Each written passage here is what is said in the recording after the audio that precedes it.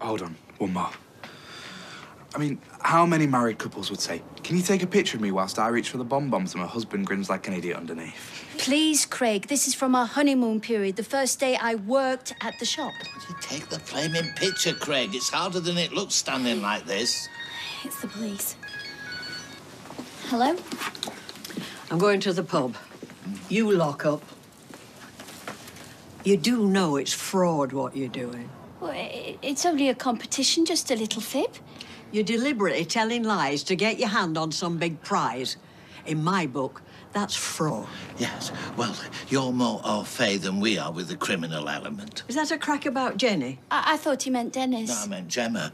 I mean, you must admit it is a bit of a rogues gallery.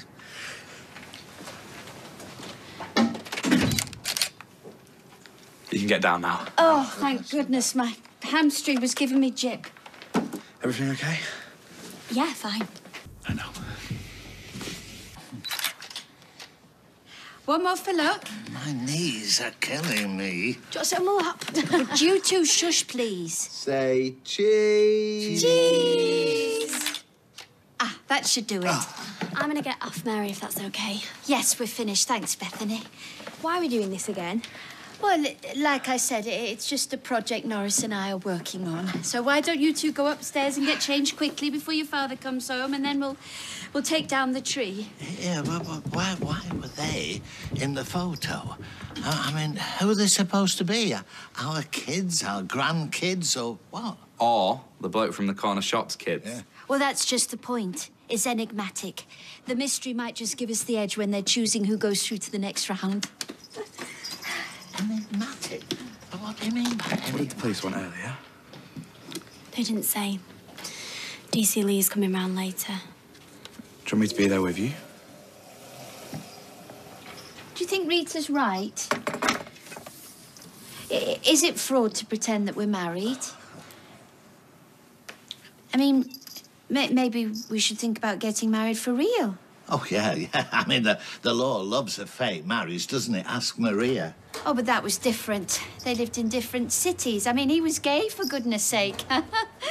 I mean, you and I have known each other for years, and would it be so difficult to believe that we, um, that we, uh, might have fallen in love?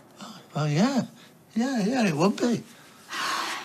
Norris, this prize means I get to see my son, my grandson. I can't afford to get to South Africa otherwise. You, you want us to get married legally just to win a competition? Oh, no, no, no. You want your head examining.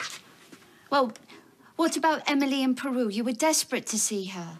Well, I am, yeah, but I- I've got to win this prize, Norris. We both do.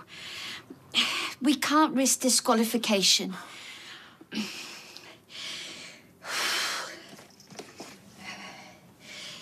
Norris Cole, will you marry me? I must be mad, but oh, okay. Yeah!